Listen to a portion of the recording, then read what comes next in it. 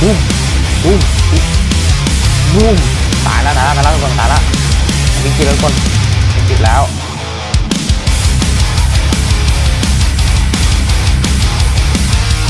ไปไปไปไปไปไปเข้ามาได้น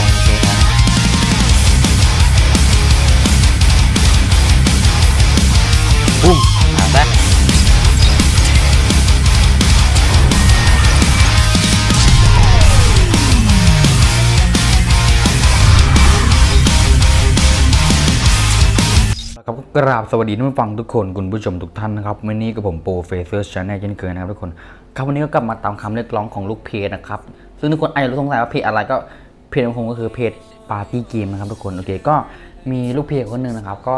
แบบว่า request มาขอให้สอนเล่น Paine นิดนึงนะครับผมนั้นบอกแล้วว่าผมไม่ใช่ main Paine แต่ว่าผมก็โหดเล่นโหดทุกตัวอยู่แล้วโอเค แต่มาสอนนะครับโอเคมาเนี่ยตัว Paine นะครับทุกคนนี่ครับ เรามาเริ่มทำความรู้จักกับ skill passive ของ Paine เลยนะครับ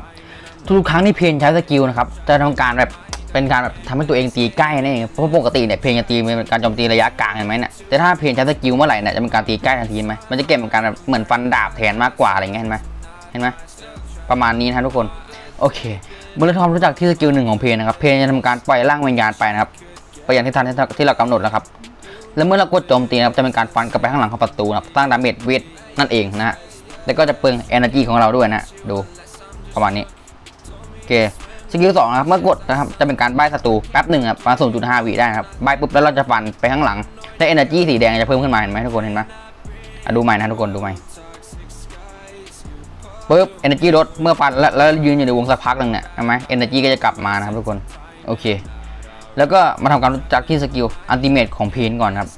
skill ultimate ของ Paine นะครับจะเป็นการเลือกไปยังทิศทางที่เรากำหนดนะครับ ไกลมากๆประมาณครึ่ง map ได้นะมันถึงเป็นตัวที่แบบเคลื่อนที่ได้ไวมากๆนั่นเองนะทุกคนเนี่ยทุกคนดูโดดไปมับ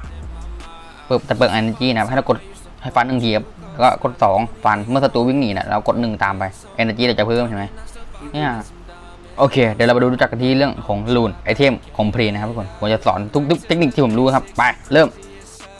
ครับมาเรื่องที่ rune ของ Paine นะครับ rune ของ Paine ก็เหมือน mage ทั่วๆไปนะครับก็คือ Desolate 10 Spirit 10 Stain 10นะครับทุกคนแค่นี้เลยไม่มันไม่ไม่ได้ต่างกันมากกับสำหรับทั่วไปนะครับ ปกติเลยครับ โอเคโอเคครับ อันนี้คือ set item ของ Paine ที่ผมจะใช้นะครับ คือ set item ของ Paine เนี่ยมันใช้ได้สองอย่างก็คือมี set item ที่เป็นใช้กับ Paine lane กลางกับ Paine ป่านะครับ ถ้าเป็น Paine Paine แบบ Paine ป่าก็จะเป็นเซตตามนี้เลยนะครับทุกคนขึ้นเป็นดาบฟาร์มนะครับชิ้นแรกตามด้วยรองเท้าเจาะเวทนะครับทุกคน เมื่อท่านเจาะเวทเนี่ยเราให้เราขึ้นเป็น Spooky Mask นะครับ ก็คือเอ่อเป็นหน้ากากนะครับทุกคน หลังจากนั้นเราสามารถเลือกได้นะครับว่า